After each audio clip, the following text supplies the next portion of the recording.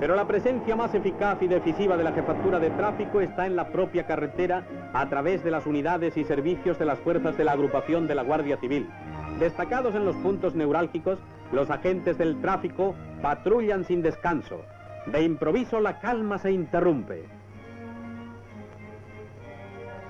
Atención, coche número 5 de auxilio en carretera. Atención. Estén a la escucha. Acudan con toda rapidez al kilómetro número 32 de la carretera Madrid-Burgos, donde ha ocurrido un accidente.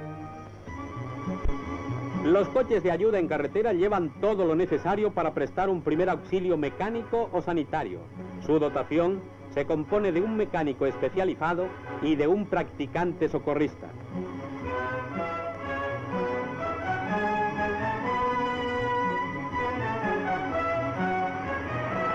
Para subsanar cualquier avería van equipados con un pequeño arsenal que consta de las piezas de uso más frecuentes e incluso un tanque de 10 litros de gasolina. Para las asistencias sanitarias he aquí el botiquín que transportan.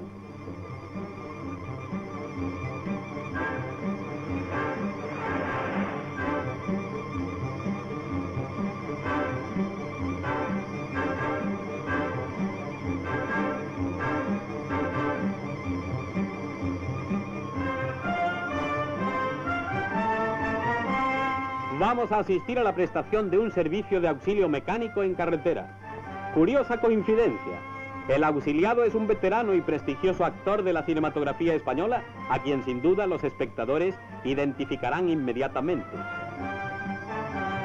Para aquellos casos en que la reparación en ruta no es posible, cuentan los jeeps de auxilio en carretera con barras de tracción para remolcar el coche averiado hasta el taller más próximo. Pero en este caso, el remolque no será necesario.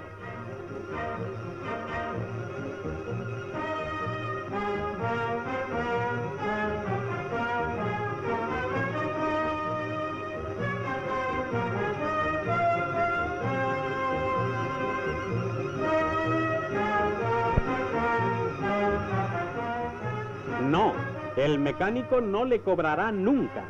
El estricto coste del material empleado en la reparación deberá ser abonado en la jefatura de la sección correspondiente. Otras veces, quien tiene que actuar es el practicante socorrista, como en este grave accidente.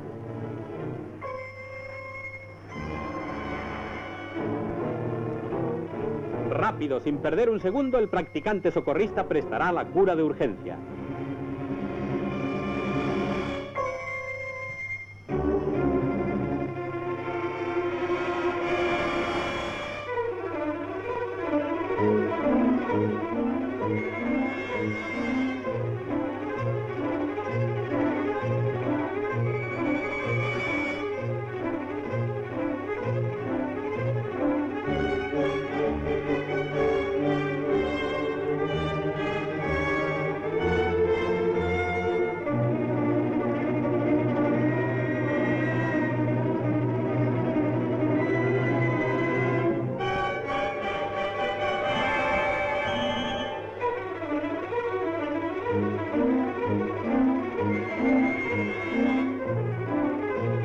Después, el herido es trasladado inmediatamente en la camilla del propio coche de auxilio al primer puesto de socorro de la carretera. ¿Acaso una vida ha sido salvada?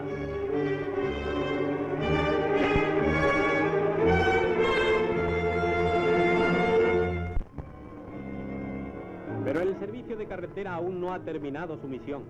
Al lugar del accidente llega uno de los equipos de atestados.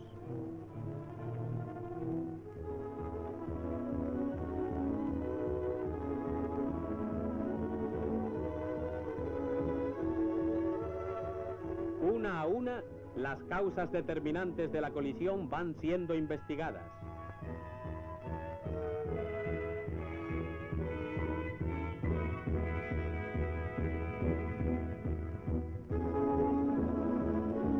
Los hombres del equipo recogen toda serie de pruebas, obtienen placas fotográficas, levantan croquis del accidente, señalizan con tiza las rodadas.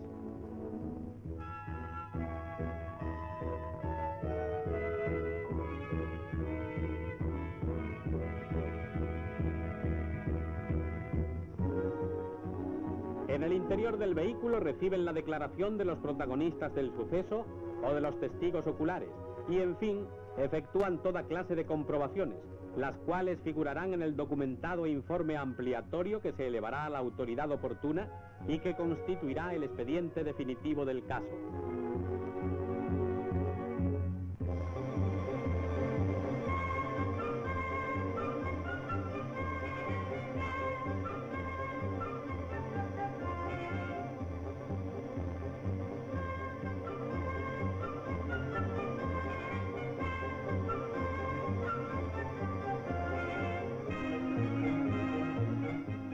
El testimonio fotográfico ha alcanzado plena validez y éxito en la verificación de toda clase de infracciones, documento irrefutable por su objetividad, que además presenta la ventaja de evitar el contacto de la gente con el infractor.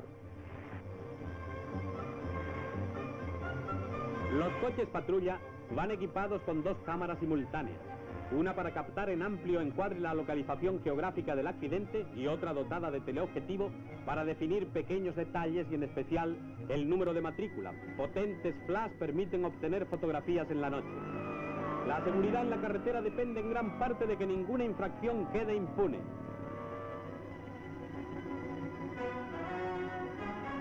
He aquí un caso flagrante de infracción por adelantamiento en curvas sin visibilidad.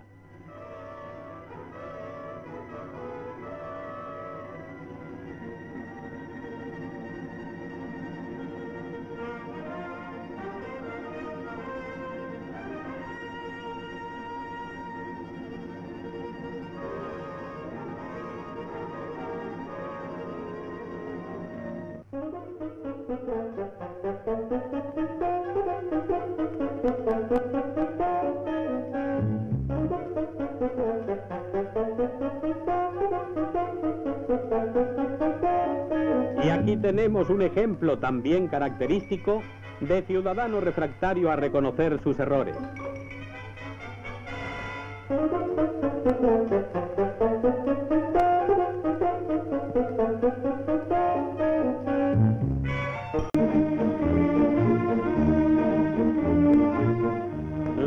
Eficacia de los hombres que montan la centinela permanente sobre las carreteras de España requiere una sólida preparación, una entrega sin reservas y un conocimiento pleno de todos los problemas de la carretera mediante las adecuadas enseñanzas.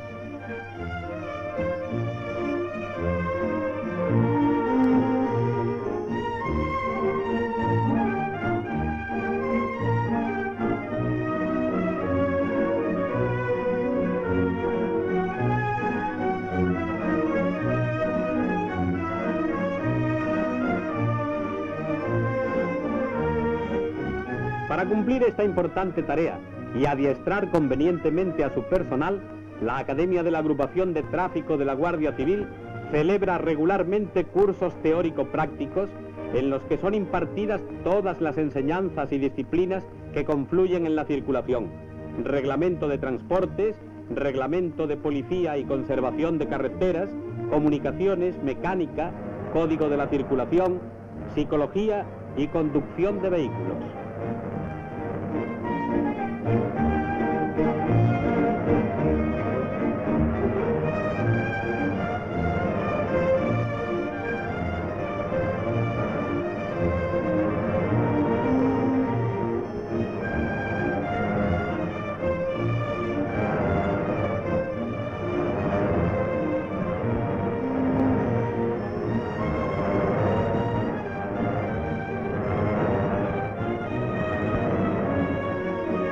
Ahora estos hombres, los hombres del tráfico, podrán desarrollar una función de seguridad, orden y armonía en la carretera. Ellos y los restantes técnicos y especialistas de la jefatura de tráfico pondrán esfuerzo, abnegación, conocimiento,